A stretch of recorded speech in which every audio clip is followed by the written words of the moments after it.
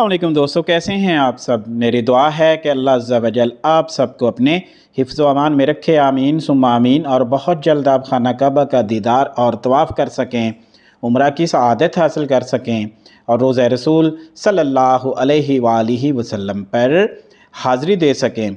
दोस्तों, वजारत हज व उम्र ने खामोशी तोड़ दी है।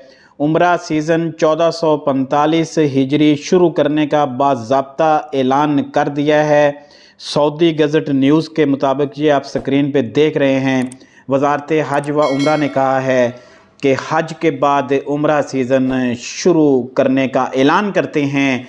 और इसके अलावा ये भी आपको बताता चलूँ कि उन्होंने कहा है कि जीसीसी ममालिक के जो रहायशी हैं या सऊदी अरेबिया के जो रहायशी अफराद हैं, मुकामी अफराद हैं या सिटीज़न अफराद हैं, वो भी नुस्ख ऐप पे रोज़ा रसूल अलैहि वसल्लम पर हाज़री का परमट ले सकते हैं और इसके अलावा उम्र परमट हासिल कर सकते हैं। और मज़ीद उन्होंने कहा, वजारत हज व उम्र ने मज़ीद ये कहा कि दूसरे ममालिक से जो उम्र ज़ायरीन आना चाहते हैं वो यकम मुहर्रमुल हराम से सऊदिया में दाखिल हो सकते हैं। और इसके अलावा ये भी ऐलान किया कि नुस्ख ऐप के ज़रिए आप ई वीज़ा के लिए दरख्वास्त दे सकते हैं, इलेक्ट्रॉनिक ई वीज़ा हासिल कर सकते हैं। इसके बावजूद सऊदी वजारत हज व उम्र की तरफ़ से अभी तक उम्र पॉलिसी का ऐलान नहीं किया गया है।